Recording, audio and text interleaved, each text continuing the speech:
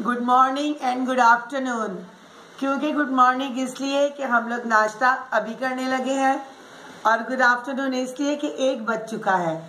जैसे कि मैंने पहले वीडियो में भी आपको बताया था कि मेरे बच्चे रात को देर तक जागते हैं एटलीस्ट तीन ढाई बजे तक, क्योंकि इनके स्कूल की छुट्टियाँ हैं तो ये फिर अपना काम वगैरह करते रहते हैं।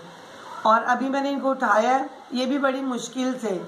शॉलमेद मैडम उठी हैं हाय और सिब्बल मैडम उठी है और मैं और मेरी सासू माँ ने नाश्ता कर लिया। मैं उन्हें पहले नाश्ता करवाती हूँ क्योंकि उन्होंने अपनी मेडिसन लेनी होती है। तो अभी हम लोग नाश्ता करने हैं। जिस जिस से नाश्ता करना है वो हमारे साथ आ जाए। आपको बिल्कुल इजाज़त है। आप जब चाहे मेरे घर आ सकते हैं। जो चीज़ चाहे मैं आपको बना के दे सकती हूँ। मुझे किसी चीज़ का माइंड नहीं है। और सिबल सिबल आपसे कुछ कहना चाहती है? जी गाइस आज हम जाएँगे शॉपिंग के लिए.